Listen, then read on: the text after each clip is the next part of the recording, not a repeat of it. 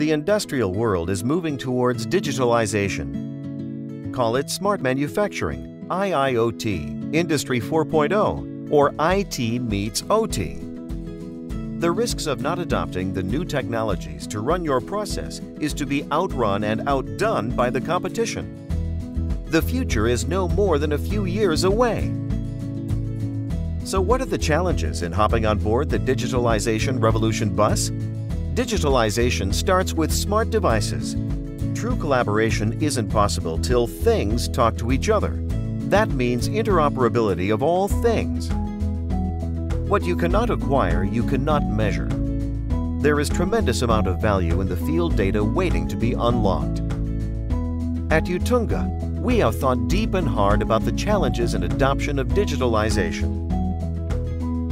Our ready-to-use frameworks, what we call accelerators, help industrial automation OEM companies in building smart devices, interoperable integration solutions, simulation solutions, and industries in implementing data acquisition solutions to integrate modern and legacy devices and systems. Anomaly detection for predictive and prescriptive analytics, we continuously evolve and adopt industrial standards and technologies by participating in industrial consortiums and in turn ensure that our customers are also standards compliant. At Utthunga, we understand that one size doesn't fit all and that each process or plant has a unique persona. So a cookie-cutter approach will never work. So we offer customized industrial engineering services and solutions.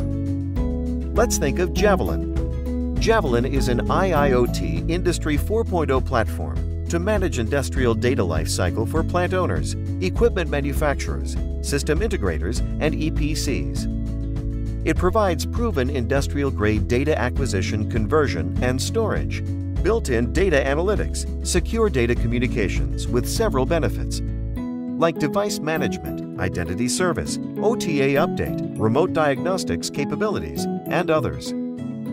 If you are a device manufacturer, OEM, and industry system integrator, Utthunga would like to partner with you in your transformative digitalization journey.